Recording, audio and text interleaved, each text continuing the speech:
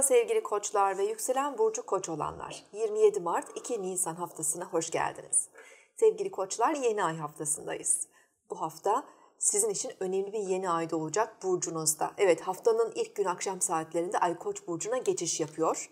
Ve salı günü e, günün ilk saatlerinde sabah 5.57'de güneş ve ay koç burcunun 7 derecesine kavuşacak ve yeni ay doğacak. Özellikle doğum gününüz 26 Mart'la 2 e, Nisan arasındaysa bu yeni ay sizin için çok daha önemli olabilir.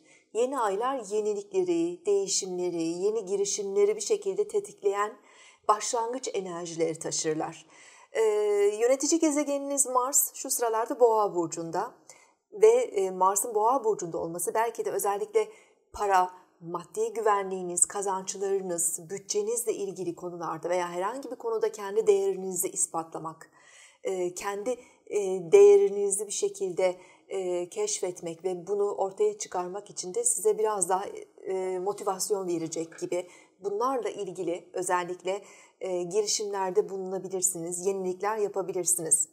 Evet e, ve hafta ortasında çarşamba akşamından itibaren Ay Boğa burcuna geçecek Cuma günü akşam saatlerine kadar Ay Boğa burcunda genel anlamda siz de daha çok parasal e, konuları önemseyeceğiniz e, bir dönemde olacaksınız.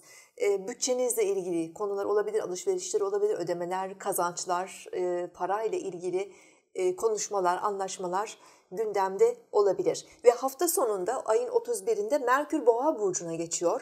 10 Nisan'a kadar Merkür Boğa burcunda kalacak. Sizin para evinizdeki bir Merkür belki de e, tüm bu etkilerle beraber özellikle kazançlarınıza ve hayatınızın şu dönemindeki e, parasal kaynaklarınıza daha fazla odaklanmanızı, zihninizi bu alanlara yönlendirmenizi e, sağlayabilir. Boğa burcunda Merkür biraz yavaştır ama güvenli hareket eder. E, biraz zaman zaman kararsızlıklar olabilir parasal konularda da belki yeni kazanç yolları bulma, bazı anlaşmalar yapma gibi kavramlarda önümüzdeki dönemde e, sizin için öncelikli hale gelecek sevgili koçlar. Önümüzdeki hafta görüşmek üzere, hoşçakalın.